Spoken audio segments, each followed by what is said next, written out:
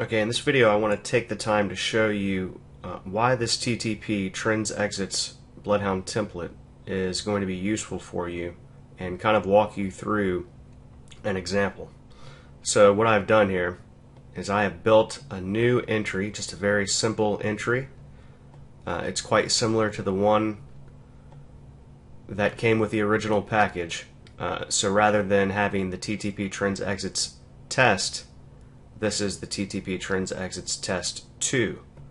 Alright, so when I open this up, you'll see that all I've done here is I've switched out this crossover, this is an indicator crossover solver, with this one. So what I was showing you before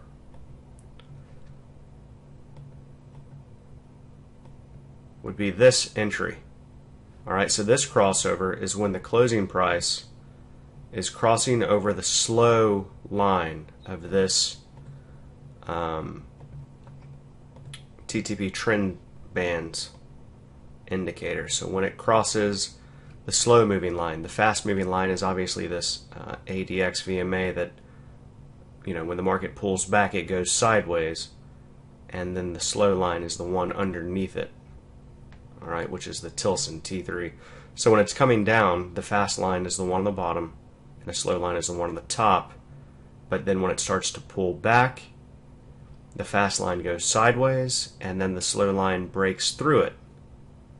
You see that? So it's a little bit tricky, maybe slightly uh, complicated, but what I've done is instead of using the closing price crossing through the slow line, I'm now using the closing price crossing through the fast line for the entry.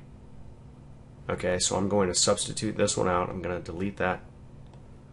Reconnect the fast, the closing price crossing the fast line. Okay, and then you can see we've we've just got um, uh, a few other conditions. I won't go into the details of those uh, in this video. What we're going to do now is we're going to optimize the best profit target and stop loss for this chart. We're using a 576 tick chart uh, on 50 days of data. All right, so I'm going to, with the strategy analyzer open, right click on CL 914 and then click on optimize. Okay, and that will op open the optimizer here. So then I will add SI Raven, select that template which is here at the top of the list, TTP Trends Exits Test 2. Click OK. And then the entry is all the way down at the bottom with Trends All Entry. So that's the new entry that I've just developed. And rather than using any exit logic, what I'm going to do is set a profit target and a stop loss and this is what I'm going to optimize for. So we'll say the minimum stop loss should be, I don't know, let's say 16 ticks. Well, let's say 14 ticks. And we'll go as high as 50. Yeah, let's say 16. And stop loss could be anything from 8 to 30. All right, and we're going to test that in increments of 2. So let me explain what this is now. So we're optimizing the profit target and the stop loss.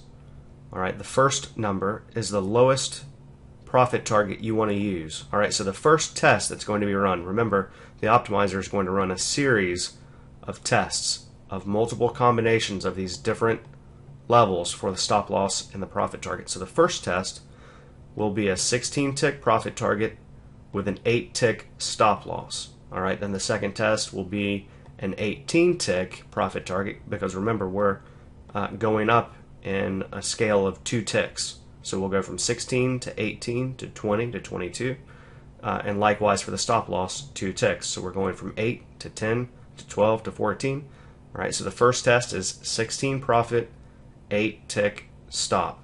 Then at uh, 16 tick profit with a 10 tick stop then a 16 tick profit with a 12 tick stop, and so on all the way up to 30. And then we go to a 18 tick profit target with a stop loss of 8, 18 tick profit target with a stop loss of 10, 12, 14, and so on all the way up to 30. And then once we finally reach up to a 50 tick profit target, then it will analyze results from all of those and it will give us the top 10 best results. Okay, and we'll optimize for max profit factor and maximum net profit are usually pretty similar, but we'll just say net profit. And let me choose the uh, the days here. So we want 30 days, 40 days, 50 days. Let's say. Hmm, let's say the beginning of, not quite the beginning of June, so let's say June 9th to uh, August 1st. Just make sure all the settings are correct. Looks good. We need to change this to a tick. Remember, we're using a 576 tick, so 576. And we're good to go. So now we just run the optimization. And this could take anywhere from 10 to 20 minutes. I'll bring this down. You can see how long it's going to take here. Uh, and usually it takes about two or three minutes before it starts to register a time. Uh, it has to, you know, run through a couple of calculations. Once it gets through a couple, then it sees how many it has left, and it will uh, kind of generalize the amount of time that it will take to finish. Okay, so I'm to uh, I'm going to pause it here, and then we'll pick it back up once we get some results, and then I'll show you how to test, uh, you know, with those that best profit target and stop loss against the multiple different exit uh, logic tabs that I have built in to this Bloodhound template. And I think that will be, uh, you know, kind of a good overview of how you're going to be using this. Okay, so I've been letting this run um, for a little while now. And you can see it has about an hour and 15 minutes to go. Uh, so quite a large test, actually. I mean, that is um, a lot of different tests. From you know 16 to 50 and then from 8 to 30 in two tick increments. So quite a few tests it's having to perform on about 50 days. So we'll give that a little bit uh, you know however long it takes and then we'll come back and analyze these results and then test the uh, the exit conditions okay so I've run an optimization with our new entry and you can see the optimization here. We're optimizing the profit target and the stop loss. But now uh, I've done this optimization using only the regular trading hours. So only the pit traded session. So from 9 a.m. Central, I'm sorry, 9 a.m. Eastern to 2.30 p.m. Eastern for crude oil. Okay, so we're right at 4,700. Okay, and the settings for that, again, are 24 and 24. Okay, so this is with no exit logic, just with a profit target and a stop loss. So now I've created a new exit. So that's going to be a, a brand new exit uh, for this template. And this seems to be the best performing exit for this kind of a trend trade, uh, which is really what this is, more or less a, a type of trend trade. And it's essentially saying that when, uh, let's say we were short from right here, when the high of the bar breaks below the previous swing low, and I'm using the, the swing setting sensitivity of 12 in this case. All right, I haven't um, played around with many different numbers. I just kind of thought I would use a larger number, and it's turned out to be a, a pretty decent uh, exit now. So when the high breaks below the previous swing low, then we're exiting our short, and when the low of the bar breaks above the previous swing high, then we would exit our long. Okay, so now we're going to optimize using this exit. Okay, so what I'm going to do, we're going to increase this now. Let's say, let's go up to 50. Let's go to 52. And we'll start at 24. We'll start here at 24 as well, just so we don't have to, you know, wait two hours. And um, select our exit. So the exit is going to be this one. So we're exiting at the previous swing. Good to go. And just quickly, let's look at the uh, the summary results. So we have a profit factor of 1.6, Sharpe ratio of 1.2, which you know whatever.